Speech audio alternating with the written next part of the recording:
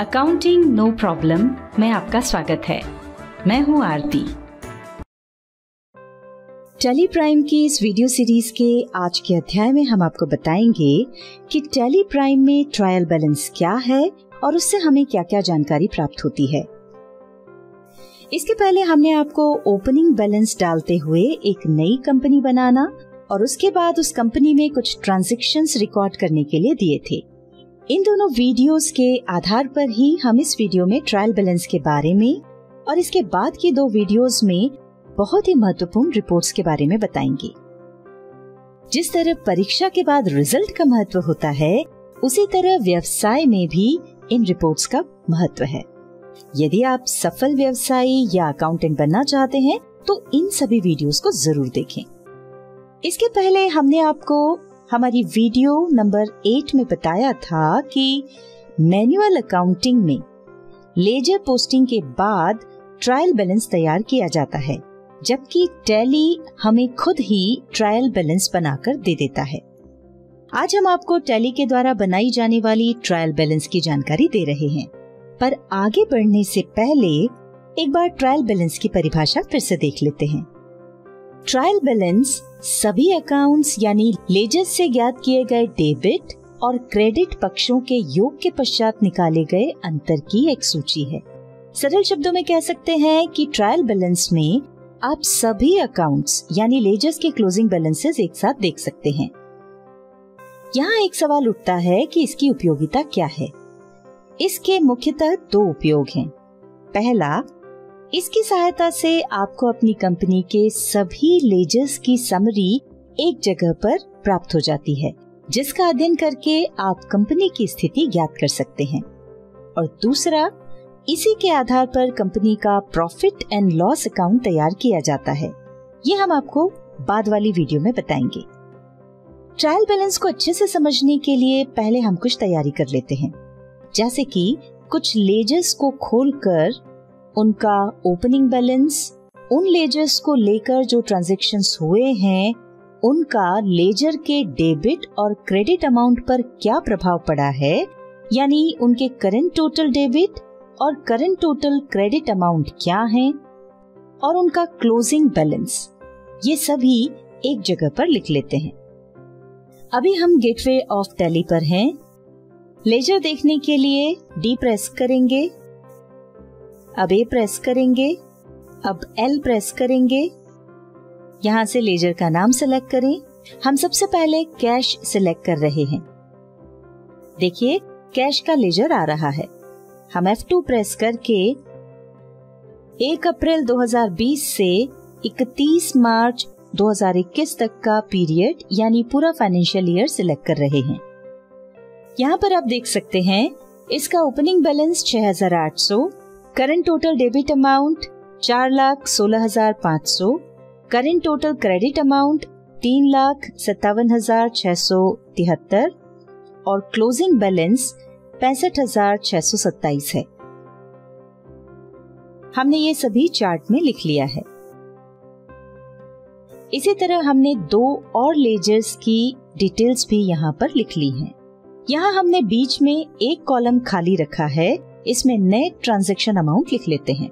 Net transaction amount से तात्पर्य है कि लेजर में जो भी टोटल अमाउंट डेबिट और क्रेडिट हुआ है, ये उन दोनों का डिफरेंस होता है।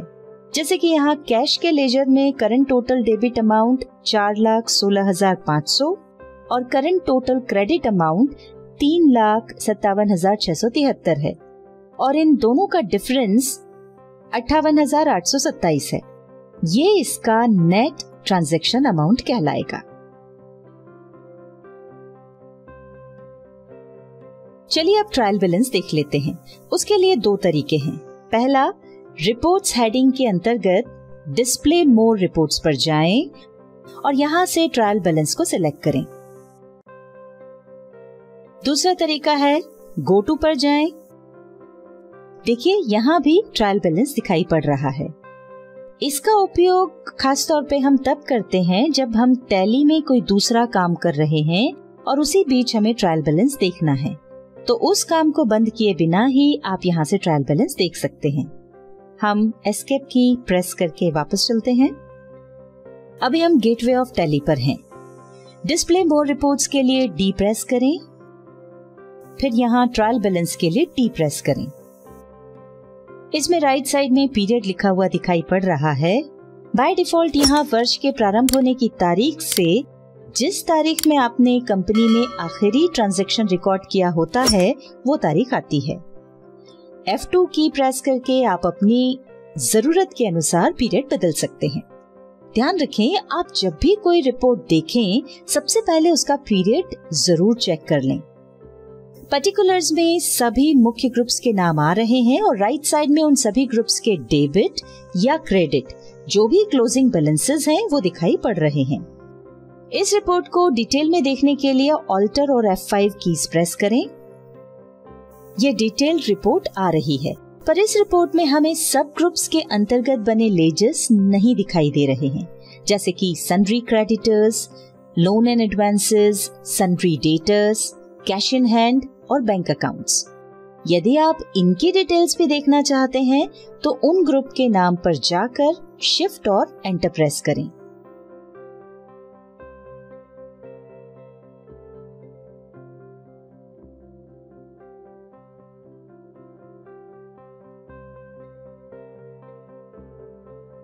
देखिए, ऐसा करते ही हमारे सब ग्रुप्स के अंदर जो भी लेजर्स बने हुए थे, उनके नाम और क्लोजिंग बैलेंस दिखाई देने लगे हैं। ट्रायल बैलेंस का एक बड़ा फ़ायदा ये भी है कि हमें एक ही स्थान पर एक साथ ये भी मालूम पड़ जाता है कि हमें किस सप्लायर को कितना देना है और किस कस्टमर से कितना लेना है। यहाँ पर एक बात ध्यान रखें, जिन लेजर्स का बैलेंस ज़ीरो होता है, उनके नाम ट्रायल बैलेंस में दिखाई नहीं पड़ते हैं, क्योंकि नाम से ही स्पष्ट है ट्रायल बैलेंस जब बैलेंस ही नहीं है तो यहाँ पे नाम क्यों दिखाई देगा भला? चलिए आगे बढ़ते हैं और एक और खास बात समझ लेते हैं। जैसे कि हमने आपको बताया था कि ट्रायल बैलेंस में लेजर्स के जो क्लोजिंग बैलेंसेस होते हैं, वो दिखाई पड़ते हैं। और ये बात हमने जो तीन लेजर्स की समरी तैयार की है, उसके क्लोजिंग बैलेंसेस को देखकर आप समझ सकते हैं। इससे आपको स्पष्ट हो ही गया होगा कि ट्रायल बैलेंस सभी लेजर्स के क्लोजिंग बैलेंस की एक समरी है। यहाँ हम आपको मैनुअल अकाउंटिंग में हमने जो ट्रायल बैलेंस बनाकर बताया था, वो भी दिखा देते हैं। देखिए, दोनों में प्रेजेंटेशन का थोड़ा फ़र्क है, बाकी सब एक जैसा है। अब यदि आप बगैर ग्रुप्स के सिर्फ़ सभी लेजर्स देखना चाहते हैं तो F5 की प्रेस करें। ये देखिए, ऐसा करते ही हमारे वो सभी लेजर्स जिनमें क्लोजिंग बैलेंस है, दिखाई पड़ रहे हैं। फिर से पहले वाली स्थिति में आने के लिए एक बार फिर F5 की प्रेस करें। अब यदि आप ट्रायल बैलेंस में दिखाई पड़ रहे किसी लेजर की मंथली समरी देखना चाहते हैं तो उस लेजर पर जाकर एंटर प्रेस करें। इसके बारे में हम डिटेल में आपको लेजर रिपोर्ट्स में पहले ही बता चुके हैं। हम स्केप की प्रेस करके वापस ट्रायल बैलेंस पे चलते हैं। चलिए अब बात करते हैं टैली की। टैली हमें ट्रायल बैलेंस में सिर्फ़ क्लोजिंग बैलेंसेस देखने की ही सुविधा नहीं देता, बल्कि अन्य कई डिटेल्स भी हमें इस रिपोर्ट से मिलती हैं। आइए देखते हैं कैसे। उसके लिए हम F12 प्रेस करके कॉन्फ़िगरेशन पर चलते हैं। यहाँ एक एक ऑप्शन के नाम को ध्यान से पढ़ें। शो ओपनिंग बैलेंस को यस करें। इससे हमें वो ओपनिंग बैलेंस दिखाई पड़ेंगे जो हमने कंपनी में लेजर्स बनाते समय डाले थे।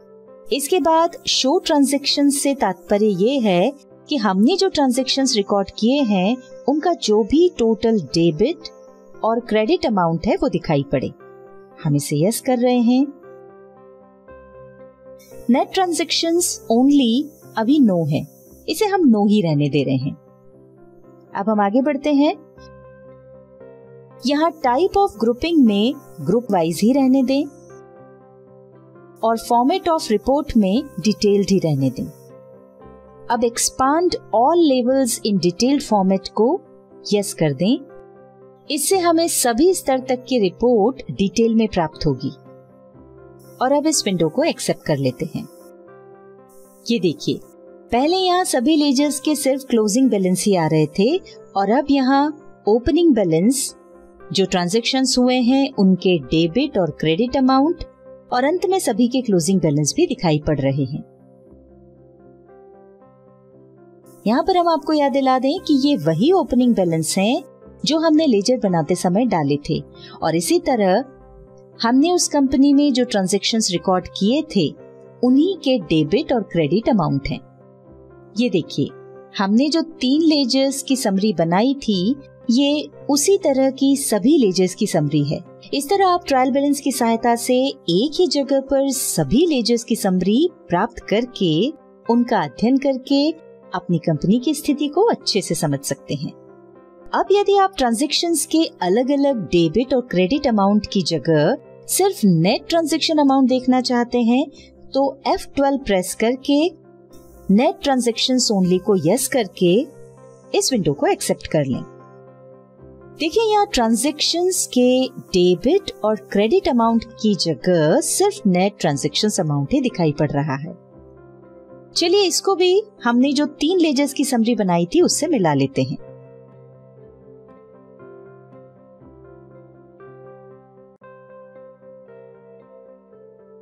कॉन्फ़िगरेशन में किस ऑप्शन का क्या प्रभाव पड़ता है, इसे अच्छे से समझने के लिए आप एक एक ऑप्शन को यस और नो करके, और जिन ऑप्शंस में सब ऑप्शंस हैं, उनमें से भी हर ऑप्शन को सिलेक्ट करके ज़रूर ट्राई करें। तभी आप उनके सही उपयोग समझ पाएँगे। इस वीडियो के नीचे डिस्क्रिप्शन में हम एक पीडीएफ दे रहे हैं। यदि आपने इस वीडियो के पहले वाली दो वीडियोस के आधार पर कंपनी बनाकर उसमें काम किया हो तो आप टैली में अपने ट्रायल बैलेंस को ओपन करके हमारे दिए गए ट्रायल बैलेंस के पीडीएफ से मिला लें। ऐसा करने से यदि आपने लेजर्स या उनके ग्रुप्स बनाने में कोई भूल की होगी तो आपको पता चल जाएगा और आप उसे ठीक कर सकेंगे। इस वीडियो में हमने आपको ट्रायल बैलेंस के बारे में जानकारी दी। इसके बाद वाली वीडियो में हम आपको बताएँगे कि प्रॉफिट एंड लॉस अकाउंट क्या है और ट्रायल बैलेंस के आधार पर उसे कैसे बनाते हैं।